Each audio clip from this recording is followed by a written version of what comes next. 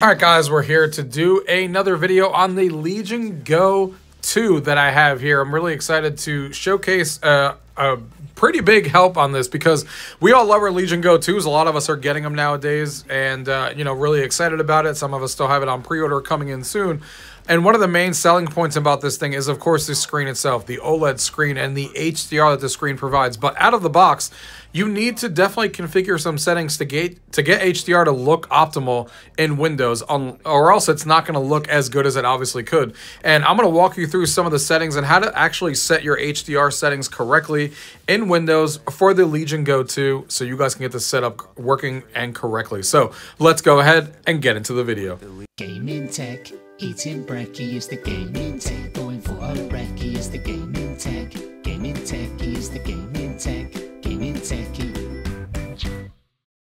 So one of the things we want to talk about now is HDR because as we know this is an OLED display but there is HDR calibration that you need to do in Windows and we also want to set this up correctly. So when we talked about before when I set the brightness up here on these settings uh, that we talked about before, we want to actually set the brightness level to 43%. That seems to be the magic number that a lot of people online are talking about to be able to really highlight like the HDR and you know the, to, to really mimic what you want HDR to look like when you're doing these Windows settings. So we're going to set the brightness to 60 uh, to 43 like you see there. So the first thing you want to turn off here is when you go to display settings on your Windows uh, on Windows here as you guys are looking at here and you're looking at the brightness tab, you want to turn this off. Change brightness automatically when lightning when lighting changes. You want to turn that off. Usually doesn't work very well anyway and a lot of people in the community also tell you to turn that off as well. So we went ahead and turned that off. We also want to go into the AMD software here. You guys are seeing that I have the AMD software pulled up here.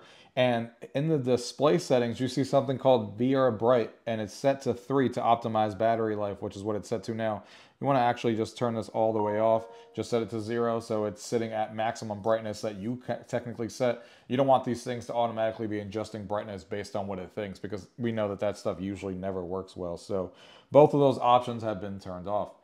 The next thing we got to do, like I talked about, is setting this correctly to the brightness. So we talked about this already. So you can pull this up on here if you haven't already and just set the brightness here to 43%. Now we're going to go ahead and open up the Windows calibration for HDR. We know all about that uh, when it comes to Windows. So we're going to go back into display settings. We're going to see HDR here. And you can see in HDR, so you can see right here at the bottom HDR display calibration. So we're going to go ahead and hit that. It's going to make us download a little HDR calibration tool from the Windows Store. Now we're going to go ahead and open that calibration app as you guys are seeing here. Oh, actually, we need to go ahead and turn the setting back on first. No, we don't want to turn off HDR when the PC is running on battery life, so make sure that that's turned off too. So we now have HDR turned on, now that we can turn it on and took that retarded setting off about the battery life. All right, so now we can go back and go into the app that we were talking about before. So we're gonna go ahead and open this up. There's the HDR calibration. We're gonna go ahead and hit get started. So you can see the minimum luminance is the first thing. Now these settings are specific to the Legion Go 2 that a lot of people have already discussed online, so keep that in mind. So what we wanted to do for the minimum luminance here is you want to set this to zero nits. You want this because according to the community, this is necessary because you're using an OLED and you want to have perfect black. So you want to set minimum luminance to zero. So we're going to go ahead and set this to zero because if you put this anywhere higher, then you can see the numbers there. So you want this set to zero so it can get as dark as possible with the perfect blacks that an OLED provides. Then we're going to go ahead and hit next. Then you can see maximum luminance on the next screen. So calibrate maximum luminance. So we're gonna go ahead and adjust this here, right here at the bottom. And you should find that if you did every step correctly that we talked about before, you can see that we're trying to make the, this might not come across very well on this video, but we're trying to make the cross disappear as it says there so it's not visible.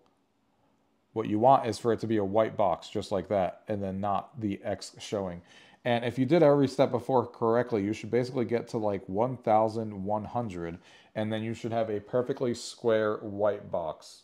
So you basically set it to 1,100 and you can see a perfectly square box and then you go ahead and hit next. And again, you're gonna do the same thing on the next screen here and you're gonna find yourself at the same thing. 1,100 is going to be where that box disappears. Then you're going to go ahead and hit next. And then you're going to get to the color saturation part. This is obviously dependent on you. So this isn't more or less like what you want it to be.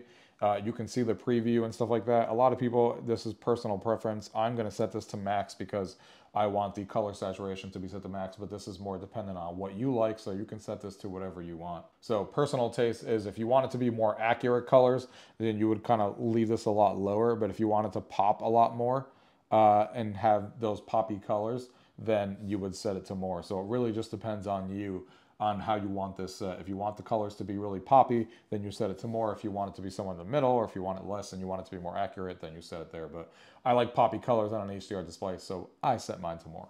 And then when you hit next, you will see what it looks like after calibration and you can see what the highlights will look like. So you can see before calibration here, if you guys can tell on the camera here, let me see if I could focus in a little bit. Uh, you can see on the left image there, you couldn't even see the sun. All you saw was a bunch of yellow.